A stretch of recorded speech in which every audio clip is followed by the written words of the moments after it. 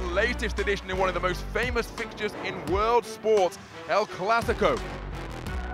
Buckle up and enjoy this one because it could well be a bumpy ride. Oh, there's a lob pass. Oh! Finish with the one-handed slam.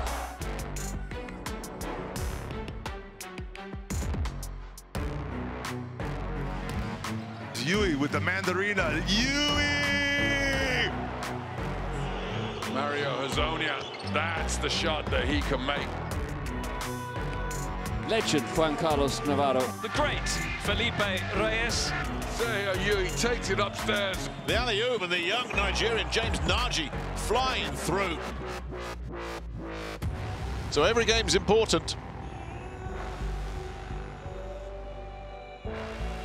Barcelona, just Real Madrid then.